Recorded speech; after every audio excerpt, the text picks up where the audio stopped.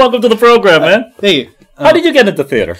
Uh, it was my sophomore year of high school. I was in choir. Yeah, sure. I uh, I was one of those kids who actually kind of made fun of the theater group Yeah. because I was like, that's not really me. Well, why is that? Yeah.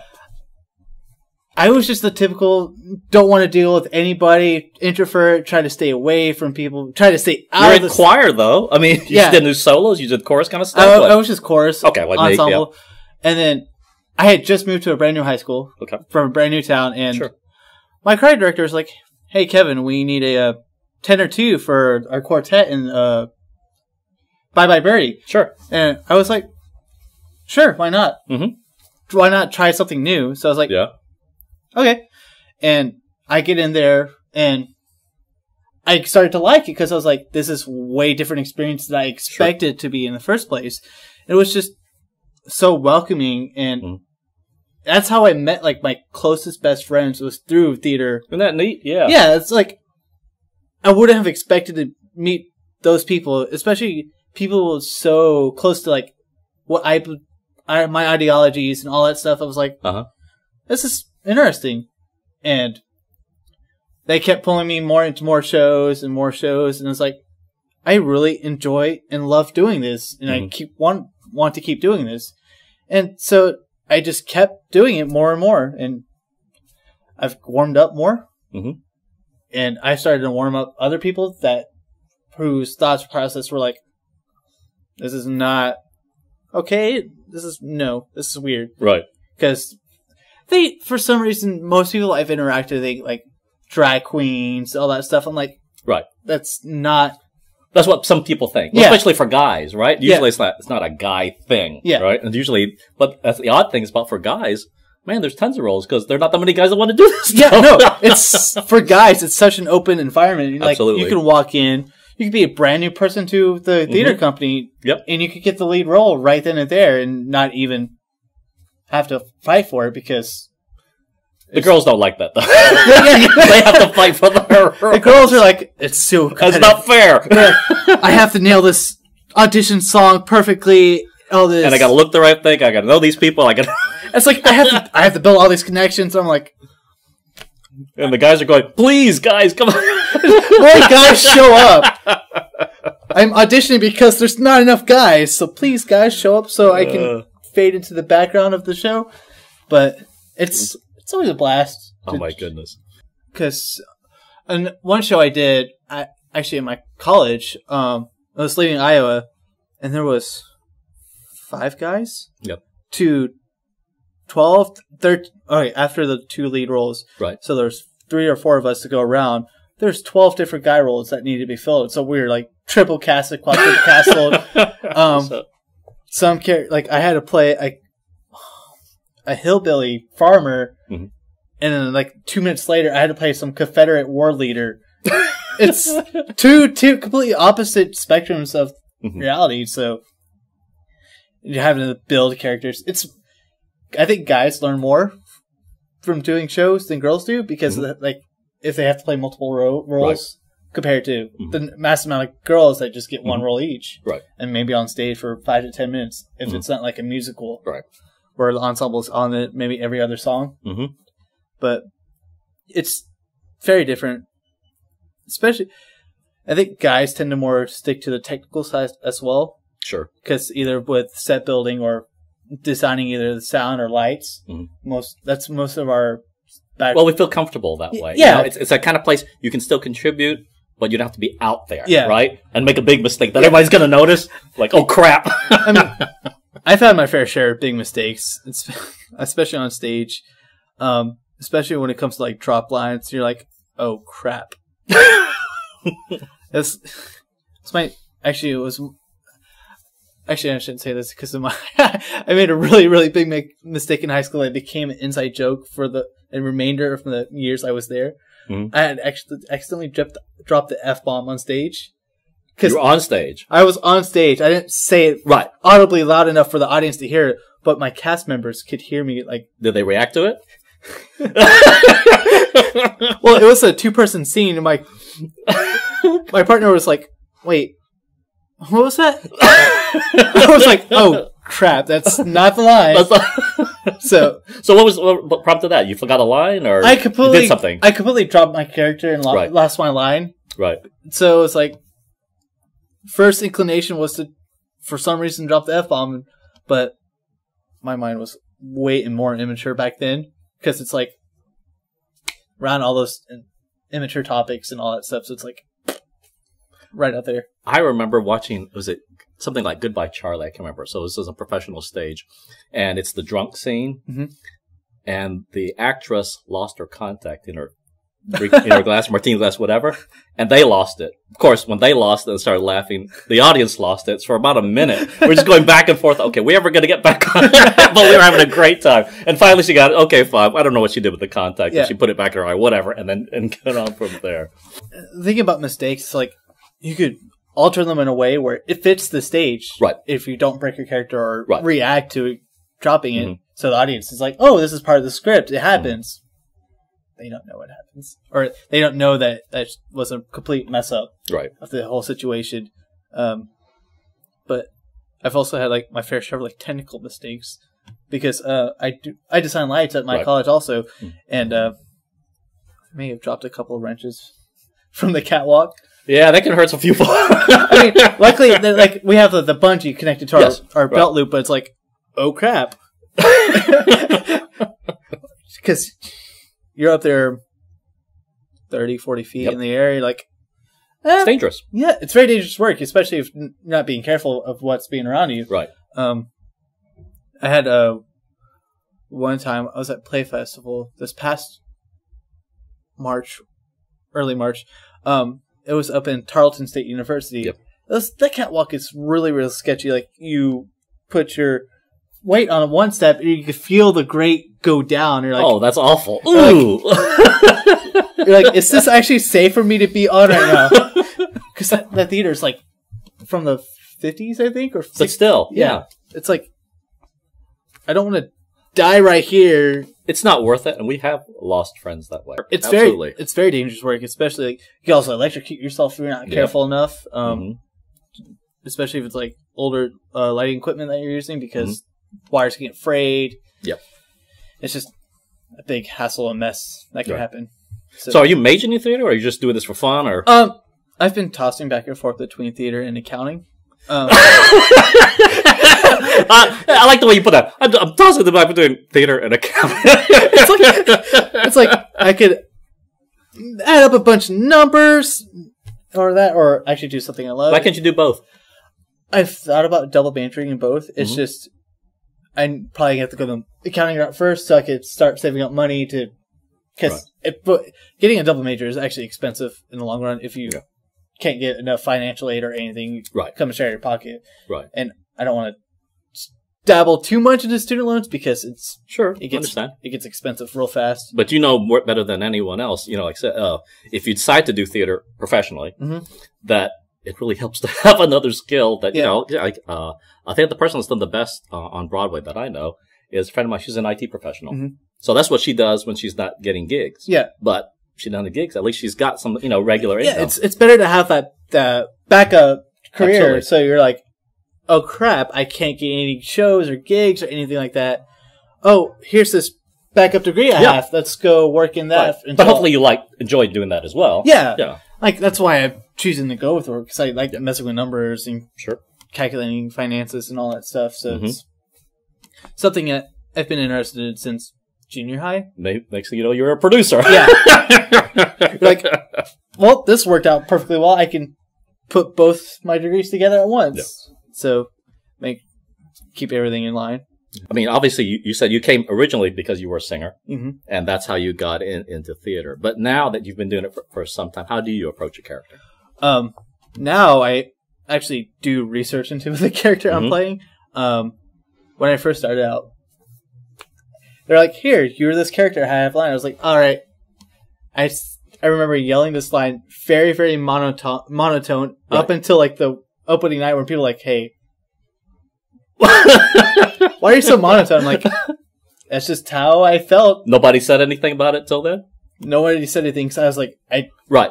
it's like it's my first inclination is like just say the line. Yeah. And most people are like, you, it comes up completely monotone because you're trying to control your voice and Right. say the right words.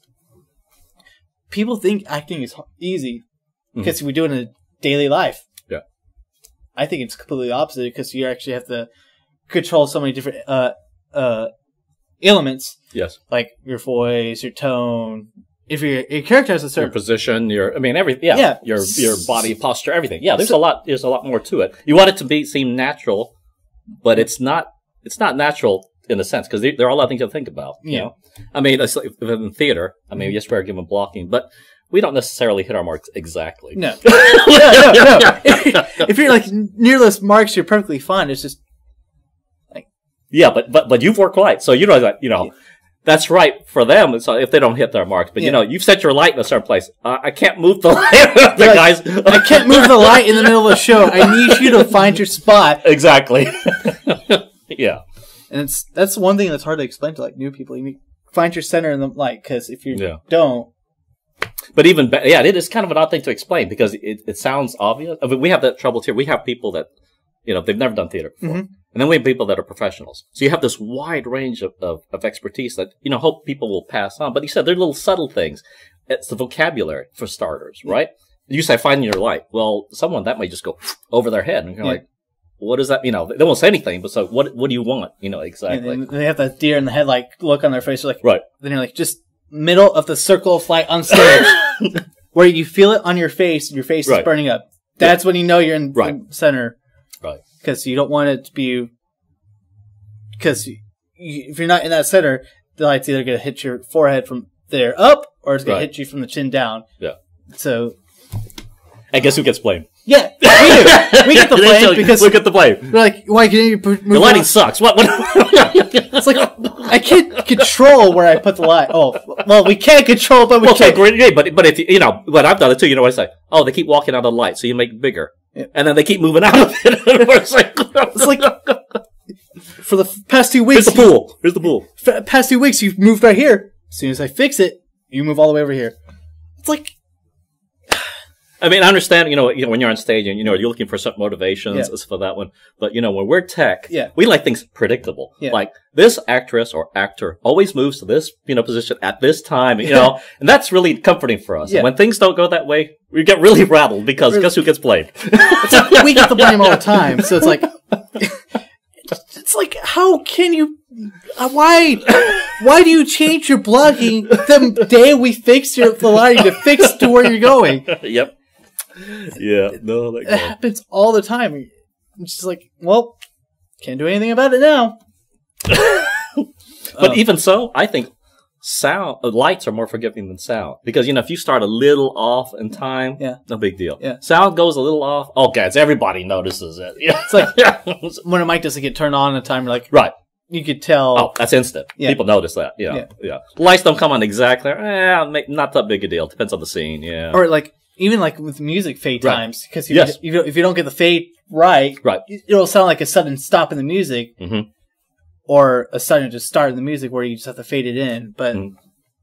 most people are they're pretty forgiving on that also because, but you have to hit for vocalists on stage. Sometimes they have to start the song right then and there, so they gotta hear that very first note to know to go. Mm-hmm. Yeah. But okay, back to go towards the characters. Um, now I I do a lot of research into my characters because how it- like in Legally Blonde I play uh bailiff. Hmm. Right. How, how does a bailiff stand in a court? You Right. want to be upright, more Right. stern, or Right. but most people at first are like, oh, okay, you're just standing there, nothing else. You're like, but you gotta you gotta make yourself look intimidating, and for me, it's like. I'm skinny. I'm, completely skinny, so it's like, well, how do I make this work? All right, puff out the chest and make Yes. yourself look bigger. Mm. It's just all these tiny details you have to go out and find yourself Right. to help put get your character right. Right. So You know, the interesting thing about this, even though most people don't notice, if you don't get it right or it's not authentic, Mhm. they'll they'll know. They, they may not verbalize it that way, but Yeah. it, it comes across. Yeah. and, and it hurts the whole production. I mean, people always think, well, it's all about the leads. No, yes, they do have to carry the production, Mm-hmm. but everyone else has to, you know, match that game too. it's like I've made this, or I've in my head, mental note, I've made the connection between something I've been taught in choir and Yes. to theater is in choir, you're only as strong as your weakest voice. Mm-hmm. Well, in theater, you're as strong as your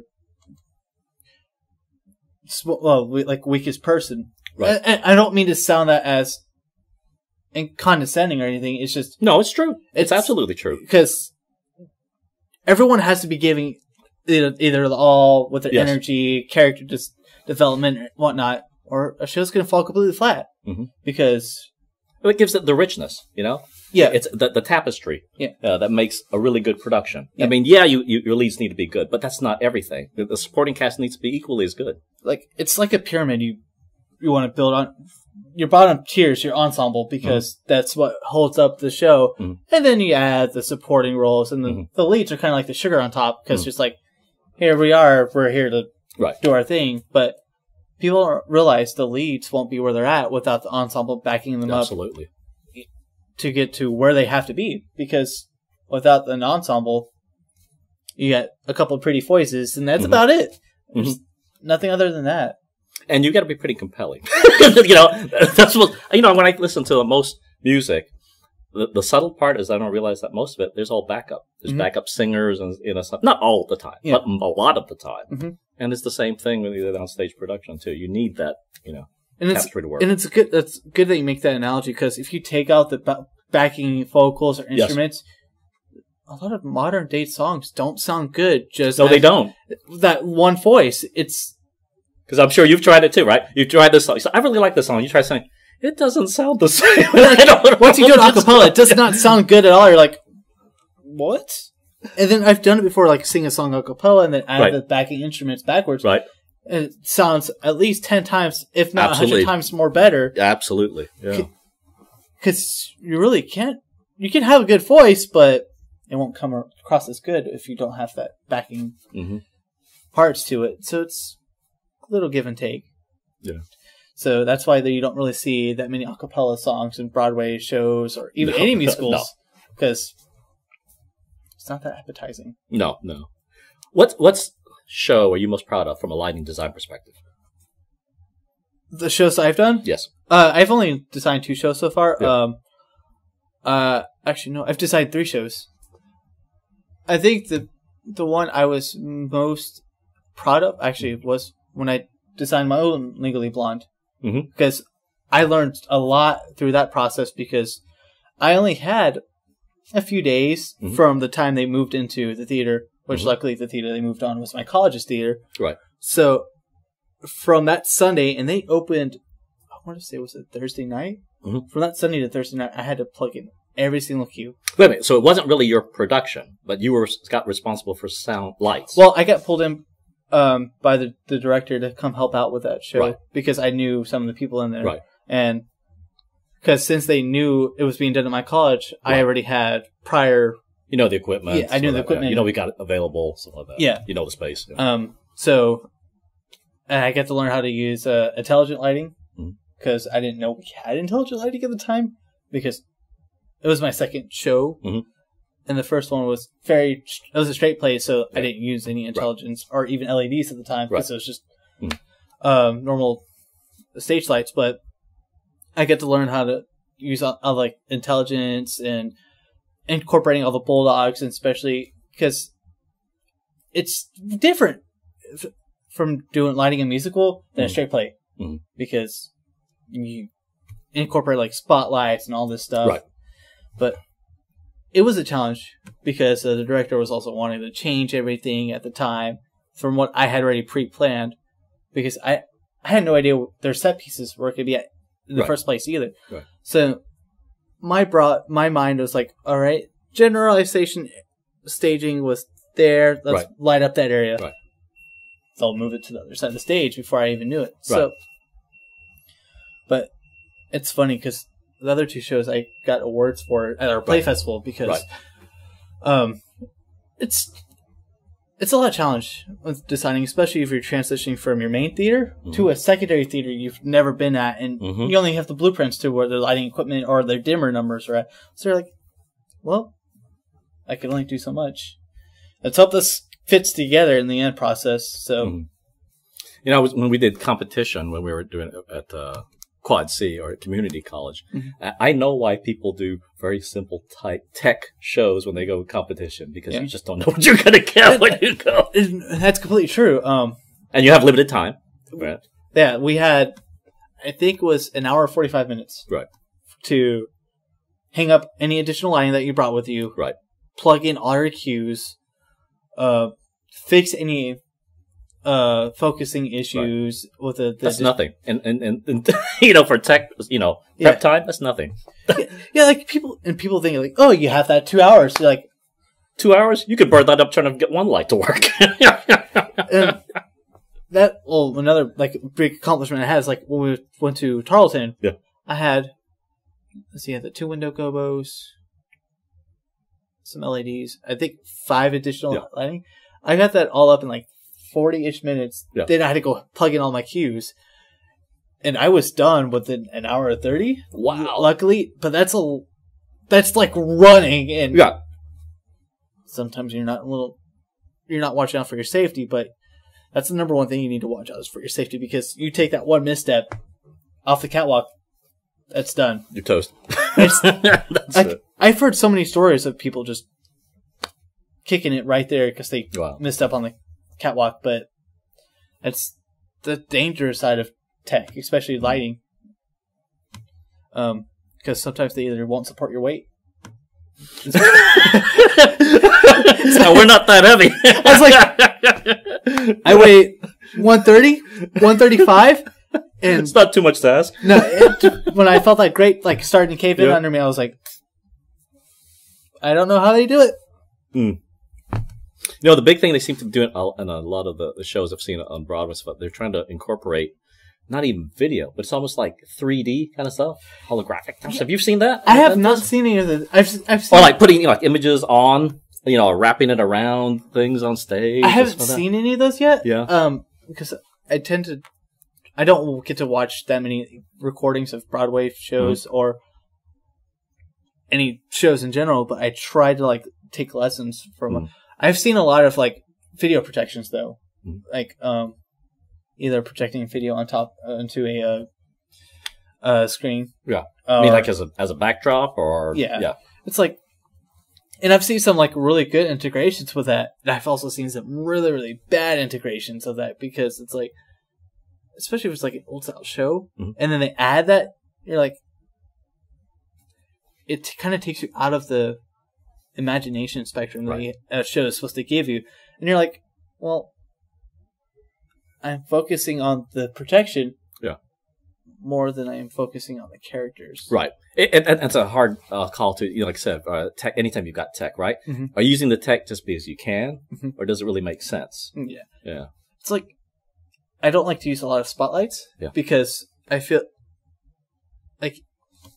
particularly some scenes do call for the spotlight, Right. But there's some those little tiny scenes like the spotlight's not needed. You Mhm. can see the one person Mhm. on perfectly fine. It's just I've had times where it's this, just the spotlight takes me out of the scene because it's like, Mhm. well, you just broke the fourth wall unintentionally. And in a show that doesn't break the fourth wall, you're like, why is that even there?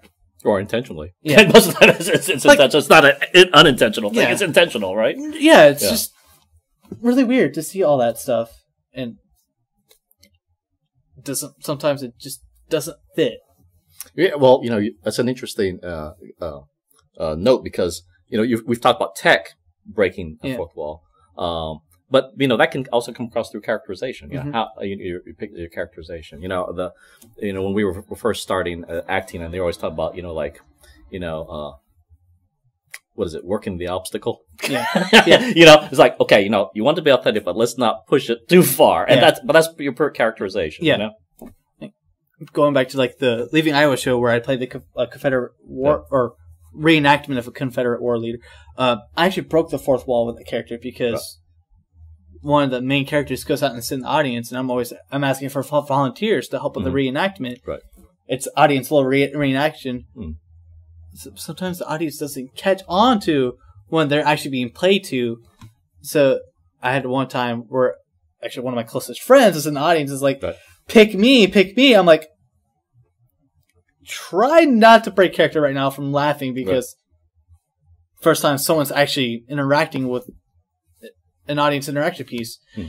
besides the main characters. The Some shows that they're into that, right? Yeah. In fact, that, that's just part of it. It's not just interaction, but you you are intentionally breaking. Yeah. wall. it can make sense. Yeah. You know, sometimes it can be okay. Yeah. Yeah. It's just a lot of comedies do that. Yeah. Which good for comedies. Yeah. So, what are the things you want to do in theater that you haven't done yet? I'm trying to think of the things I haven't done. I've designed sound. I've directed. Mhm. I've done lights. You built set. I- That's it. I actually, funny story. Uh, when I did Sweeney Todd, we had to build our set from the scra- from scratch up because we thought we had to do it off campus because it was done with the music department, not the drama department. So we're building the set up, get everything set and ready to go. Our the man- manager of the the performing arts center is like, you can't do that. That's that building's not safe. Like, what are you talking about? we're like, there's guidelines to how we're like, yeah, the the three quarter inch screws are too short. You need to be using like the or like these long star bit screws are like Right. okay. And the way how we did the, the trot shoot was not safe at all. You literally had maybe a I want to say about three feet of slide, and then you had to like quickly go down a slide that was in the opposite direction. I've had many sho- shows during that time where I hit my head going down the, the slide Ooh. because you just slide down, but and if you're not careful, you hit your head right then. Ugh. And I got a concussion a couple times because of it. So, but that show was a hot mess in the sense. Well, it's it's an interesting show. Did, did you see the? I guess they had a, a recent, real, I don't say real recent uh, revival on TV, but um, did they do it modern modern style or what is They it? did the film adaptation. The film- the film version, adaptation of Johnny Depp. Yeah, Yes. we we actually a lot of us watched that for a character basis because the film ad- adaptation was not too far from the actual script. Uh-huh. Besides some musical music, Right. I watched it, and it was that's what got me into Sweeney Todd in the first place was the actual film. Right. So I was like, oh, cool, I want to do that. And then when audition came really, really close to Anthony, but that's like I think it's the worst thing when directors tell you like you were this close to being the role you wanted, but someone else just like kicks you out of your spot. You're like, what? well then, It hurts any which way. Like I said, you, you directed, so you've been in a spot where you've had to cast, yeah. but it's very di- it is a different perspective from the director versus uh, be, being the actor. And- yeah. In the director's director's perspective, it's really hard not to precast. hmm You got to keep yourself open to who Mhm. walks in to audition. Yes. and it it was like it was a student student uh student directed shows Mm. where your group of people come and audition for your shows. Right. So you knew every single person that was coming. You know what in. they're good at, you know, where they could fit, stuff like that. So you're like- Yes. I need to cast this unbiasedly, just just to how they're auditioned. But in the back of your head, you're like, well, I know they work well with angry characters or the antagonist or Right.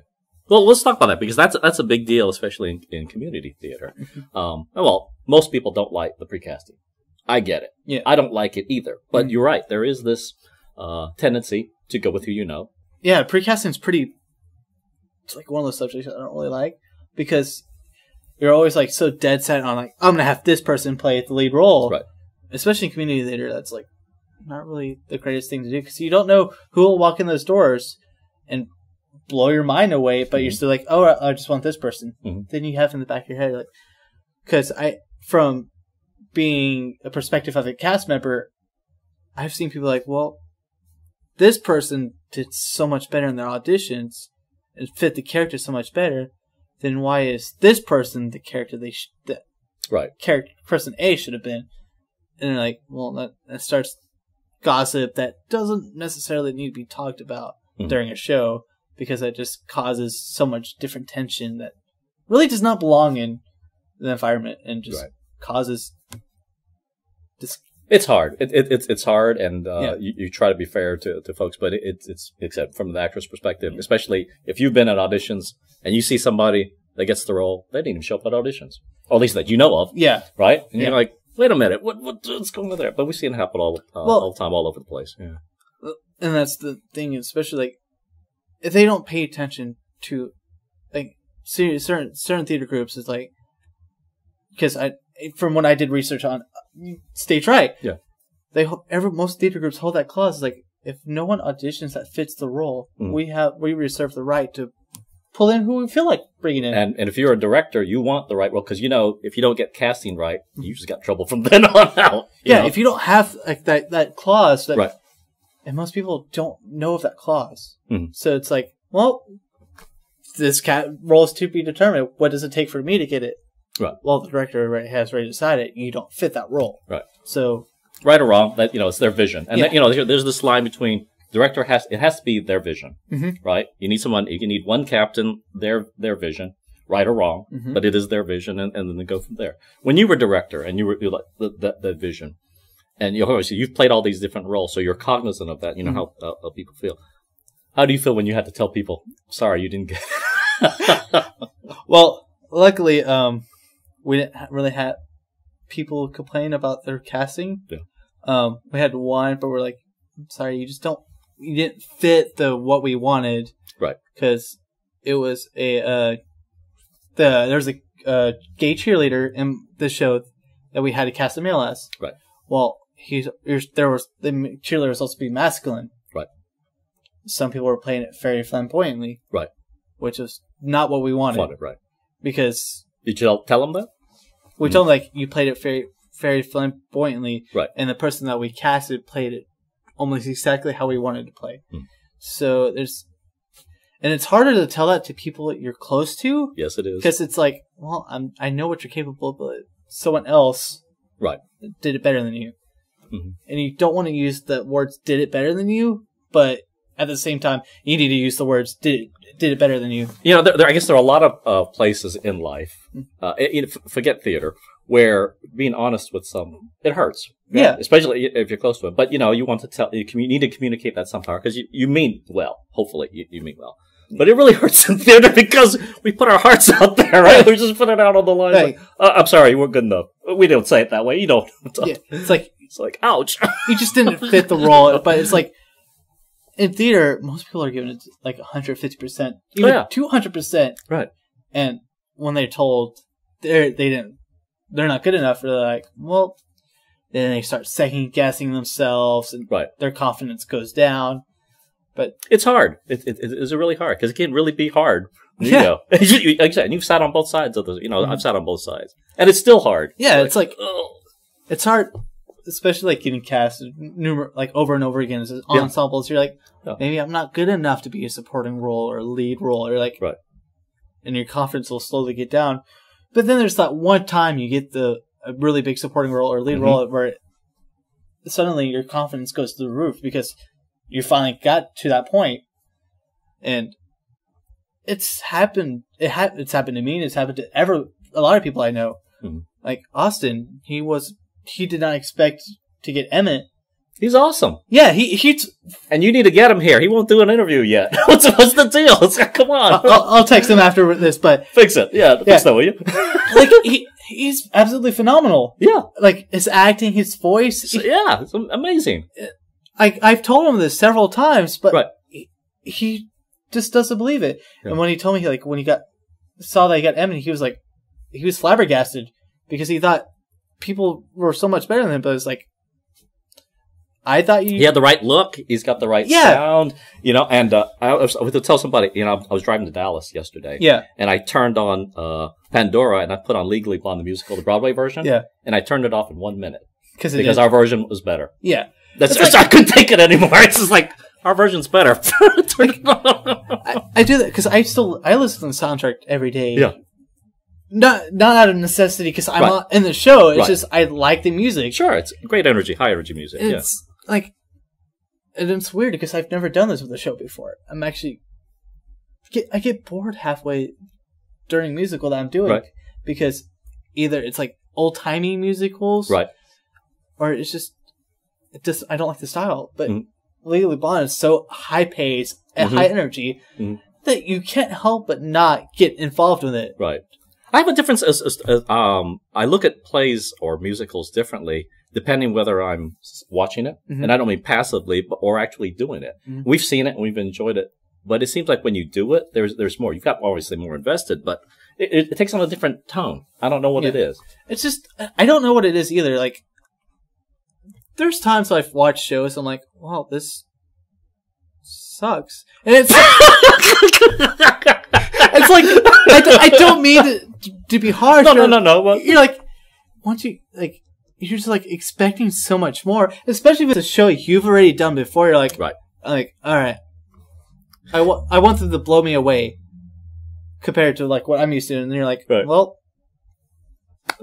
it's a hazard of being in theater because we are so critical when we go. I mean, obviously we're there to support our friends. yeah, but you're that. super. But when you're always you're always looking at from these multiple perspectives, right? Like if I were doing the show, how would I do it differently? yeah, Or like, ooh, that was a really interesting choice, or Yeah.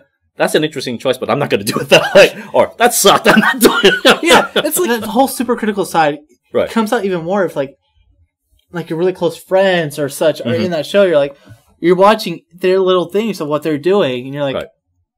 and then because you, you know they're going to ask you your critiques as soon as you Right. they get off that stage. But you're you also want to be like watering it down because you're like if you come off too harsh, Right. they're gonna come off really not ready. Hmm. Like I did that this past week when I went to go watch a couple of uh, tech rehearsal. Oh. So bear in mind it was a tech rehearsal. Of so course. Yeah. First day with the orchestra, so it's like okay, I'm not gonna be too critical, but at the same time, you're just like watching every little detail. Right. And I guess it's because of this show where the ensemble, especially in the dance numbers, are like actually a big part. I was Yeah. like paying attention to every single person in like the big ensemble numbers Right. to the choreography, and I noticed people that were either under underperforming or Right. under energetic. You're like, and especially if it's a friend, you're like, hey, just put a smile on your face, look like you're having fun. It makes a difference. it makes a whole lot of difference. Even if you're just like put it on this like big boisterous smile, you're like, okay, Mhm. people people like just to see you smiling, having fun on stage. But I've also saw people that were like over overdoing it. You're like, Mm. break it down a little, because you can overact as much as you want, but there there has to be that median because if you're overreacting, especially in musical numbers, you're gonna have your attention drawn to you, which not necessarily is a bad thing. Right. But when it's like, it's the time for the leads to Right. have their thing. It's you need to have their attention focused on the leads because Mm. it could be an heart- heartfelt sonnet that's being sang right, Right. now. But if you're like sitting there like big smile, like doing a lot of movements, you're like, you need to tone it down just a tiny bit. But I guess that comes in a college where you're just like trying to be noticed by the director Mhm. for like future roles. But Right. sometimes you gotta just lay low, keep calm Mhm. because you never know what's gonna happen. Well, it's back to the good of the production. you know. Yeah. What is best for the good of the production? And Mhm. it is so hard because people are trying to do, but you know, we have our own egos that we have to deal with. Yeah. Right? It's, It's- like, why didn't, you know, do I need to do this or not? You know, can I contribute in this way or not? And, Yeah. and you can do that by making your character as authentic as possible and fit in the moment. Uh, but that's for different for each person. Some people think, oh no, it needs to be bigger. And I guess at the end of the day, you know, as a director, well, you've saw that too. Yeah. When, how far do you like your characters to go? Like during, you know, there's the rehearsal versus the thing. How much do you like to play during rehearsals? Kind of finding the characters. I, I try to let the the cast members do their own thing, but Mhm. I'm like also try like, hey, maybe you should try this out Yeah. or try this out, Mhm. or tell me if your character would do this thing versus Mhm. B because you because cast members need to have that freedom to find what's comfortable for them. Right. Be- because I've been in productions where I've been told every little thing to do, and I'm like. Line readings, basically. I'm reading I'm reading my line and moving with my blocking. I'm like, this is I can't get into the role Right. because I have no freedom at all. Hmm. So I've always kept that in mind whenever I direct. Yeah. Because it's really the person's outcome, the end goal, their character, how they're producing. Because Right. Well, that I think that also helps too if you get strong actors that can develop the role. Mhm. What I call thinking actors. Yeah. When you you know, it seems like when you move more into film, uh, I mean, certainly there's plenty of good thinking actors, but then there are plenty of people that make uh, their living by ta doing exactly what the director says. We Mhm. had a guy that had a resume like you wouldn't believe, Mhm. and when he got on stage, I couldn't believe that resume. I'm looking at the resume and him like these two don't seem to add up, and the reason he wasn't a thinking actor. Yeah. If- but if you told him exactly what you wanted, bam, you got it. Yeah.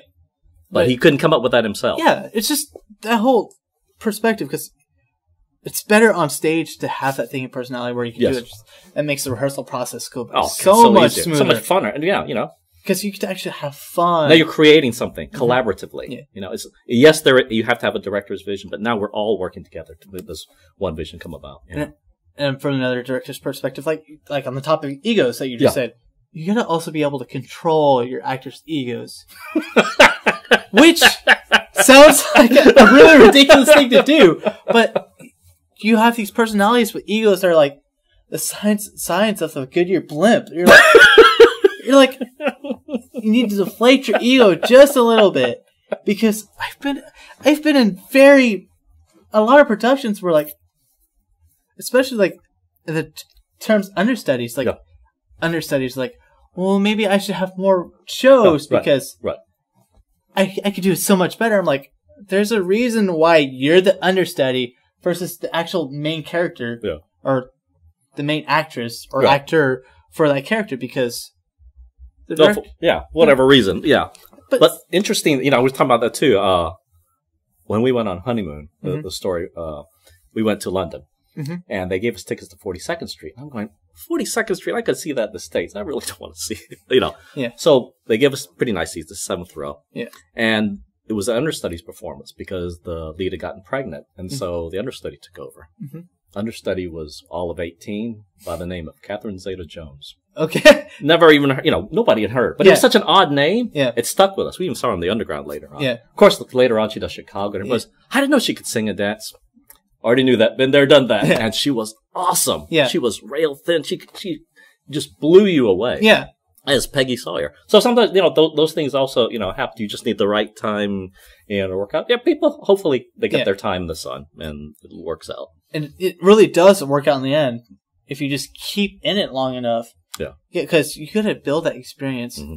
and like going back to the whole precasting situation, connections also do help a lot. It's a people business.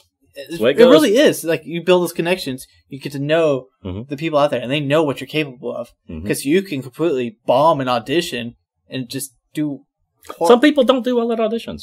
Some they just don't. I don't know what it is, you know, or maybe you're just off that night for whatever, whatever reason. But- so in that case, yes, it does help to know yeah, what the person's capable of, you know? especially if the directors like the directing team knows what you're capable of especially if you worked in past productions with them Mm. so they can know your limits or even like musicals your vocal range Yeah. because you could choose an audition song that doesn't display your range Exactly.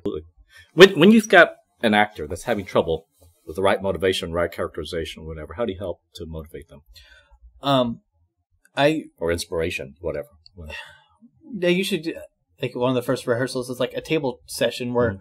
we talk about characters and what. Sure. First, at first, I'll write down a list of things for each character of what I I envision. Sure. But first, I will ask the, the actors and actresses what they see in that character. If I, see something that co like differentiate differentiates from what I have, I'm like, Yeah. so how did you come to this conclusion? Hmm. And they're like, I don't know. I just felt this way, and and then I'll just start like feeding them to help build more Mhm. and more because. Well, yes, it's good to give them the freedom. If it starts to go two ways from what you see, Right. it's it It's still your vision that has to, you know, Yeah. because you're responsible at the end of the day for this Yeah. production. Yeah. It's your vision. They're going to go like, what happened there? Yeah. I saw yours play. What happened?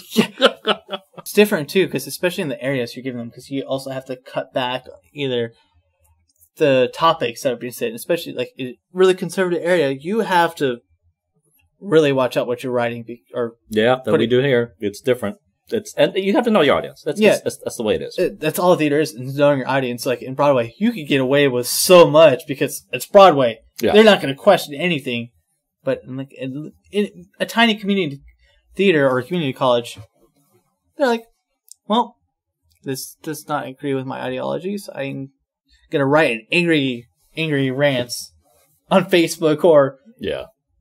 We do a lot of entertainment, and Mhm. that's it is that. But it can also be educational. But Yeah. when you're educational, you have to be really careful how you approach that. yeah, You know, and, and everyone needs a little different touch. Yeah. You can still get your message across. You just gotta figure out how to do It's that message. how how how do I do this smoothly and easily Yeah. without going way overboard with this?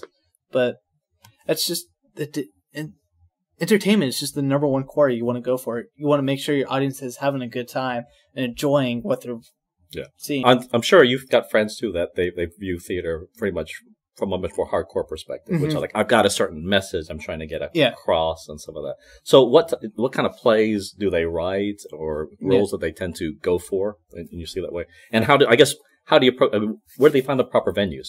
What type of message type play, uh, productions?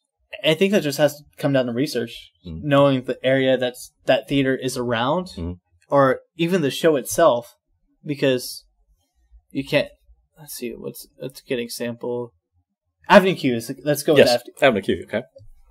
The vulgar, vulgarity and the undertones that's in Avenue Right. Q. You can't go and do it in. What's a good like a really conservative area? You There's a lot of places. I'm not even sure we could do it here. no. Um, you know, like I said, the same thing can be said for uh, extremities. It could be. I mean, there's a lot of you know Yeah. uh, plays, but there's nothing necessarily wrong. Yeah. With them, it's just you can't. Your audience won't accept that. or even like the Book of Mormon. I don't Yeah. think you could do that here. or any- Probably not. in this area No, because probably not. people don't understand that a lot of theater is satire, Mhm. making fun of what they have. It's not. Yes. It's not meant to offend people. It's just th- like entertainment. Yeah. Well, it's also maybe you can make it. Sometimes that's a way of getting people to think about it Yeah. from a satirical point of view. Yeah. But unfortunately, here it doesn't. It No. doesn't translate very well. It's just it's the way it is. Because Uh, most people in the audience will take this super seriously. They're like, okay, okay, oh, cool. But it's like, we want more than that. We want you to like getting fall for the characters. That's what our jobs as actors is to, is to make you fit into the characters and all, Mhm. or connect to the characters and like connect into yourself.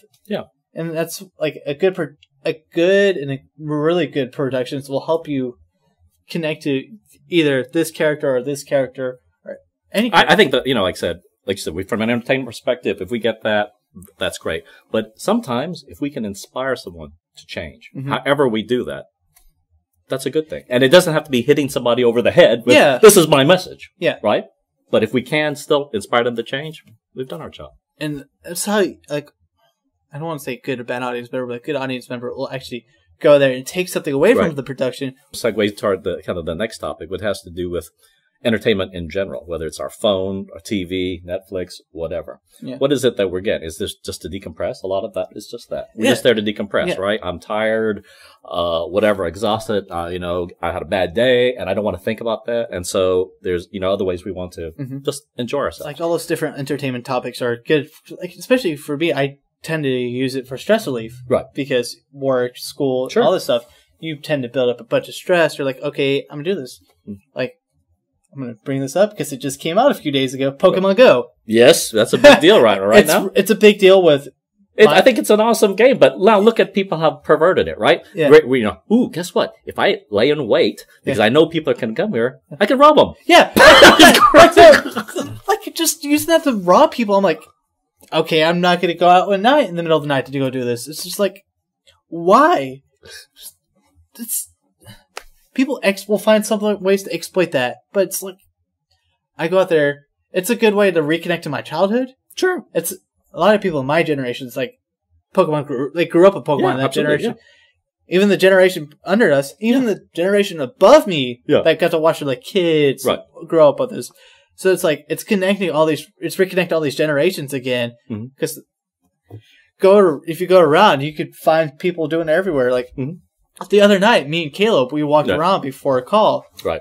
going to all these different stops or gyms. Right. And we were we were ran into a group of like fifteen people right there in front of the courthouse. We're like, what are you doing here? what? we were not expecting, right. and it's just like everyone just and there was no tensions. Mhm. Everyone just got along with each other. It's just Mhm. weird to see the commodity, uh, camaraderie, considering like 2016, Yeah. and all the conflicts that's going Right. on everywhere in the country or even the world. You're like, there's just this game that's just reconnecting everyone. uniting a lot of folks. So that, that I think it's great from that perspective. That is, you know, giving us this common, this shared experiences, and we need more of those shared experiences so that we can, you know, be past our differences. You know what? We can Yeah. still share this game together. yeah, right? and it's and the same thing with like TV shows. Yes. You watch the same show, you're like, Right. cool. And you start, you can start friendships. Mhm. You can start many things of just Discussions, philosophy, whatever. Yeah. absolutely. because it it starts broadening like the topic subjects. You're like, okay, I'm this is Mhm. interesting. I guess books is where it's Mhm. that's I don't like saying this, but books are kind of dying out because you have television, you have iPods, right. all this technology is kind of pushing it to the side, but it's like books are a good way to because I think books help you broaden your imagination hmm Yes. Because with like film or even theater in that aspect, you have someone portraying the character, not really giving you the freedom to build this character. Well, in books, you're you're reading along with their adventures. You're like, a lot of times you you imagine yourself as that character and the looks and stuff. It doesn't go Right. into like the descriptions, but Mhm. you get you get so much more freedom, and that's a good good topic starter. And like now, especially back in the day before iPods got big, or Radio. yeah, Radio plays. I mean, in, in the sense, it's it's like a book because Yeah. you have to imagine everything. You don't get to see anything. Yeah. You know, it's all it's all in your head.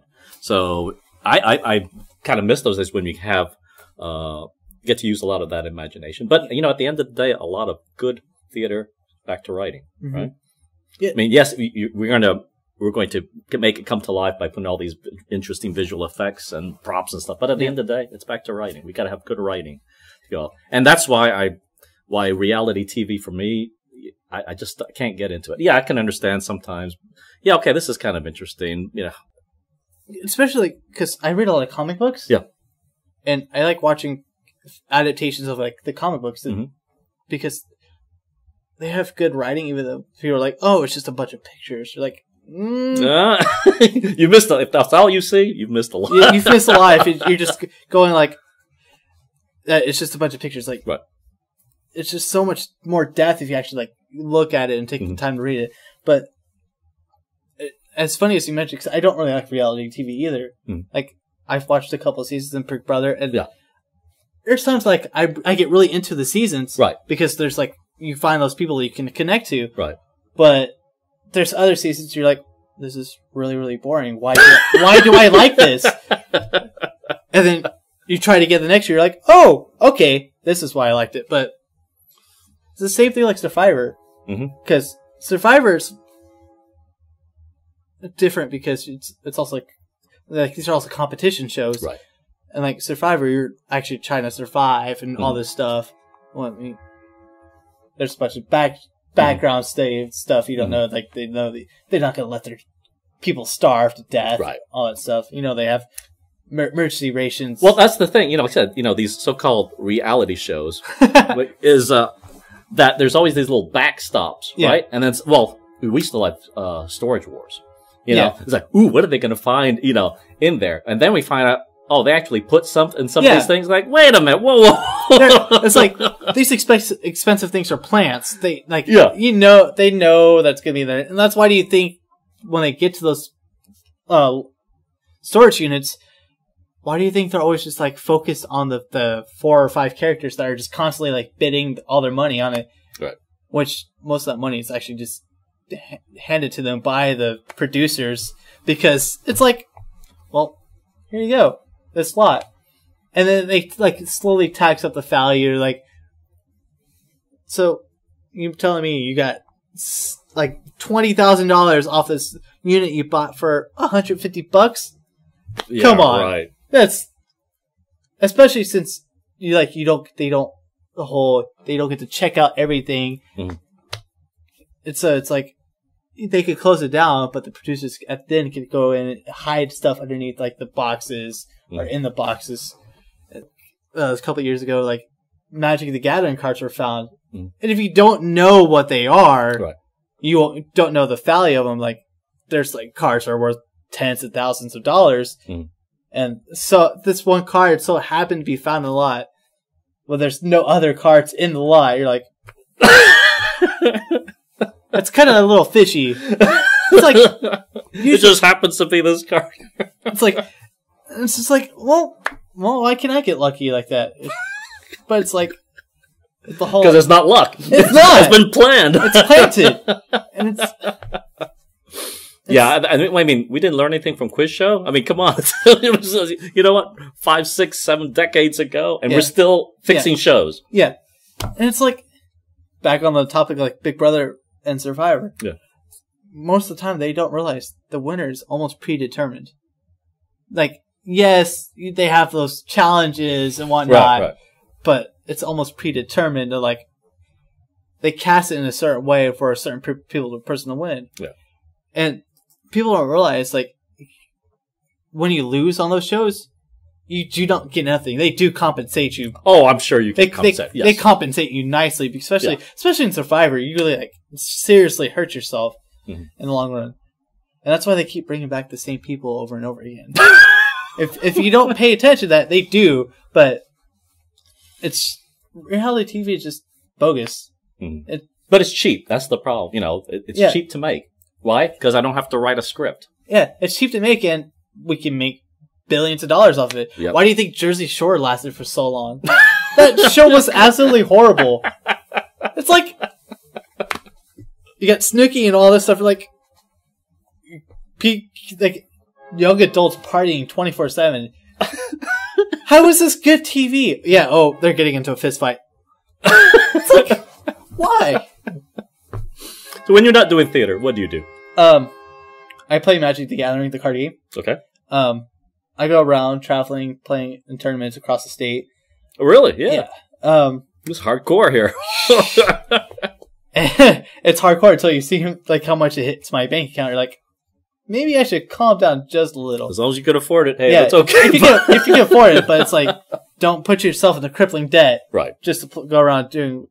But I, other than that, I tend to just like stay at home writing music and playing games. Writing music. So what style of music are you? Um, I'm more like punk rock. really? Okay. Uh, I try building around those harmonies, and Mhm. and I kind of use those same tones like other big bands in that genre, Mhm. and I incorporate to that my own songwriting. And so it's like, Yeah. oh, let's let's see what I could do. And a lot of times it's my own original lyrics that just happen to pop in my head at that time. I write it down. I'm like, oh, this is actually good. now the next challenge is finding like the melodies and all that Right. stuff. And so it's really interesting at cons like challenge and the time it takes. Right. But so do you write for you? Do you write because it's cathartic, or do you write because you would like to perform it sometime at a bar or whatever? I, I like I write for myself. Yeah. Um not a lot of people have seen my the stuff Right. I've written because it helps like especially like get get a little depressing times you're like Sure. okay this helps write Right. out all your issues or Mhm. Sure. when you're really happy you're like let's write this Yeah. down so I can look at this later and be like oh I remember this and it helps It's your version of a diary. It just happens to be musical. yeah it's and it's like it's calming in a, Right. in a sense Mhm. to other people it may not be calming because it's like what's going on I'm like Yeah, but it's your experience. Yeah. and that's just a way of your how you're communicating. You know, uh, sharing that, even if it's just with yourself. Yeah, to, 'cause- to, be able to reflect and go, yeah, I remember that time when I went through that. Yeah, because each person's brain works completely different than the others, so they have what makes them happy, or Sure. especially in the nostalgia factor. And- Mhm. And you're like, oh, okay, this makes me really happy. Mhm. I'm gonna. It helps you find that key point Mhm. to keep going back to, so you don't. When you the depressing times, you're like, don't keep going and going and hit that Right. roadblock, and you're like, okay, I need to find a way out of that hole. But music does help a lot, especially coming up with all the bunch of like uh, line lyrics, lyrics, Mhm. and coming up the coming up with the actual instrumental part is actually the hard part because I don't I can play piano, that's about Right. it, Right. but I can't do anything else. So I'm gonna have to use like GarageBand or trying to figure out what I want to.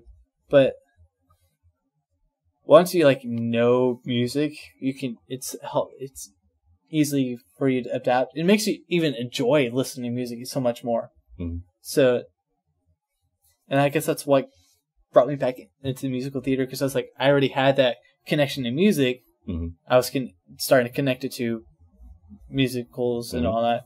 You're like, okay, I really like this. There- I don't want to change this too much. Right. So that's it's just weird. How long have you been writing music now? I want to say about five years now. Okay. Um, So now, if you if you go back five years and you look at the music you you first wrote, what do you see? Why why was I such an emotional little kid when writing all this? Because it's like super depressing. Because I I remember like one of the first songs I wrote was like really really depressing and dark and like how I Right. can't escape from this like empty void. I'm like, right. what the hell was going on in my head at this time? And then I look at some more recent stuff. It's like happy, cheesy stuff. I'm like, how did I go from this spectrum of reality Right. all the way to this spectrum? I'm like, how? And I'm just like, just growing up and maturing. I guess is where Mhm. because you, you you don't you don't ever stop maturing Mhm. mentally. Yeah. and you have those minor glimpses where you go back to the immaturity days, Yeah. but you're like, it's more easily for you, easily able for you to go back to being more mature in your head and sounding mature Mhm. in those regards.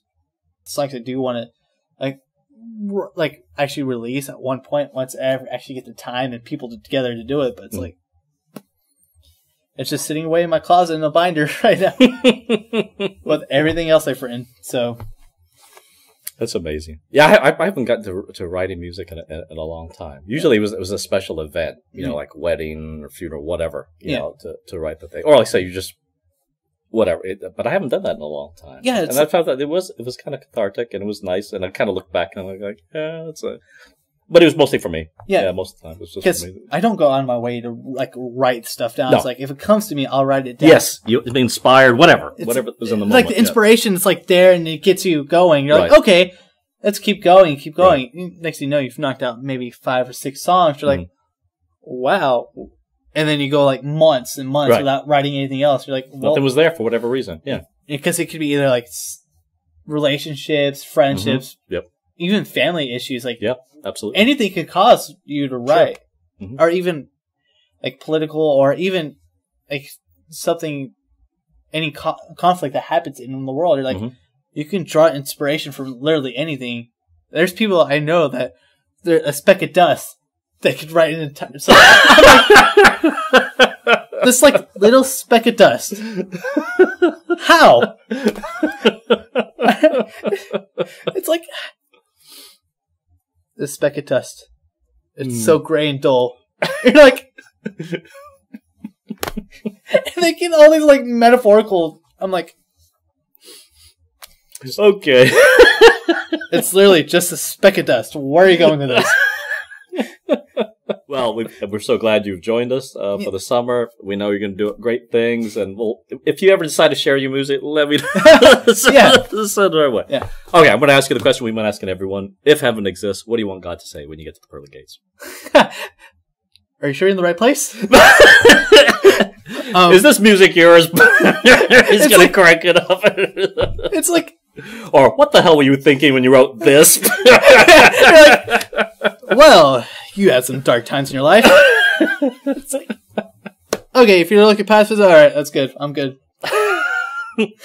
but it's like, it's just weird because I've never actually thought of that question before. So I find that it's coming out. There's there's not that many things in life that are important. Yeah. But a lot of things that are important are the things that we at least want to think about. Yeah, especially death. You don't want to think about Nobody death. wants to think about death. No. And then you have the family members that do die. And you're like, okay, well, now I'm sad. And then you start thinking about how long you have and trying Right. to make everything right again with people or Mhm. friendships. So Mhm. it's just one of those topics you're like, okay. I think we'll write a song about that. Ah, maybe not. Have I? Re- uh, maybe I don't remember. Probably half. I Go don't- back through your archives, see if you find any songs on death there. Yeah. So, We won't turn it into a musical, okay? no, I thought about it, but Been there, done that. Nah, it's nah, alright. it's too depressing. Let's not do this. Kevin, thanks a lot for being Thank with you. us.